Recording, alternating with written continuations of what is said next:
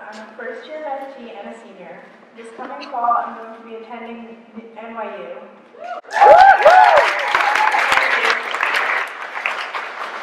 This is based on something that happened in my life, and it's about friendship, identity, and acceptance.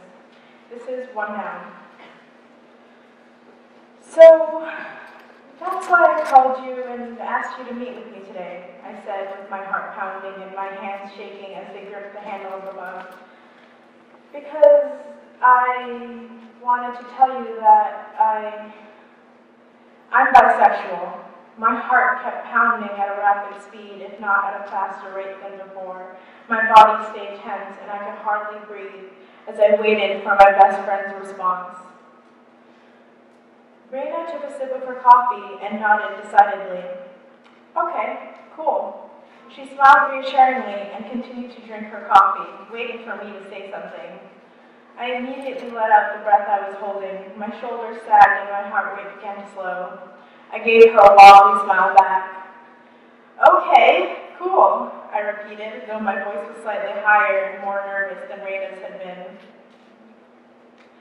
So how do you feel, Zoya? she asked. There was a new warmth in her voice that wasn't usually present in our conversations. Well, this wasn't exactly a normal conversation. Raina is a sharp-witted, straightforward person who spoke, who spoke the truth directly and shamelessly. Her voice never had this honey-like tone, but it was comforting. It made me feel safe.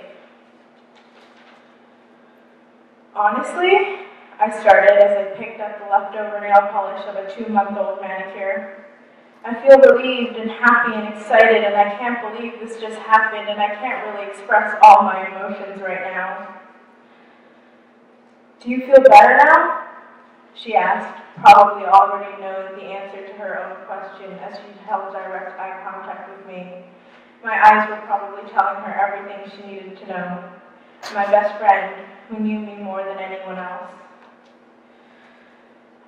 Yeah, I nodded slowly. I definitely feel better. I'm so glad that you were the first person I told. I knew you, of all people, would understand. I knew you had to be the first person. Finally, after two, nearly two years of denial, acceptance, turmoil, and inner debate, I told someone.